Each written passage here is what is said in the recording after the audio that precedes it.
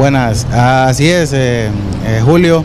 Eh, hemos tenido reportes, ¿verdad?, casi a diario de esos municipios donde se juntan un montón de factores, ¿verdad? O sea, hay que hacer hincapié de que la empresa nacional de energía eléctrica algún tiempo atrás no ha hecho los mantenimientos que realmente se, se, se deberían de dar, ¿verdad? inicio de cada año donde prácticamente uno, yo que vengo de, los sistemas regionales, se hacen eh, levantamientos de las redes y se le expone a, las autoridades superiores de los mantenimientos que realmente se deberían de hacer para evitar este tipo de problemas. O sea, la energía se va por diversos factores, ¿verdad? Cuando arriesga la, naturaleza, por las ramas, por las líneas que van por, por cerros, eh, donde están a la intemperie, entonces las descargas atmosféricas también provocan interrupciones de energía y pues también las estructuras, ¿verdad? Que en algunos de estos casos eh, ya son estructuras que tienen prácticamente su vida útil ya dada, ¿verdad? Entonces hay que hacer las reparaciones pertinentes.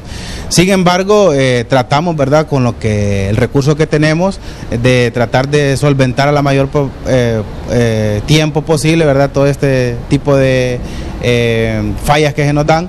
Inclusive ayer tuve reportes de que sí se había ido el fluido eléctrico en estos municipios. Hoy casualmente ya corro ¿verdad?, con los técnicos de la zona de que habían restablecido el fluido eléctrico en ese, en ese sector. Sin embargo, creo que la denuncia tal vez es, es algo puntual. O sea, queremos ver y, constatar realmente en el lugar eh, eh, exactamente dónde es el problema, porque a nivel de, por decirlo así, a nivel macro o nivel eh, de la red de distribución troncal, la, principal, pues tenemos fluido eléctrico. Sin embargo, pues puede ser alguna derivación o alguna de las fases que está dañando y que eh, no se ha podido resolver en estos momentos. Sin embargo, ya tenemos el apoyo, ¿verdad?, con la gente de aquí de, distribución de Tegucigalpa, donde desplazaremos una cuadrilla para poder hacer una revisión minuciosa, poste a poste, de la fase esa que ha quedado eh, pues deshabilitada de algún tiempo atrás, ¿verdad? Hace tres años fue esta red y lo que cortaron fue otra de la red, habiendo redes primarias. Al cortar una solo queda con una red. ¿Cuál es el problema que causa en este caso?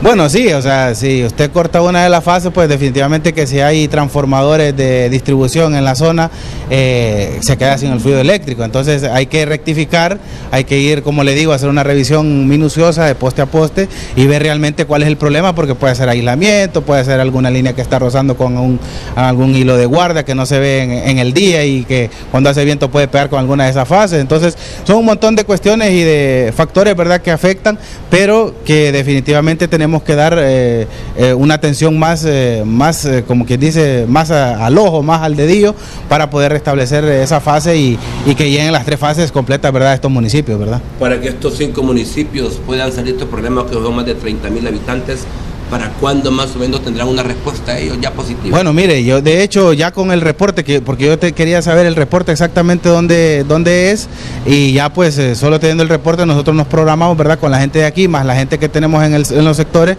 y poder pues ya desde mañana empezar a hacer la revisión y tratar ya de solventar este problema de una vez por todas, ¿verdad?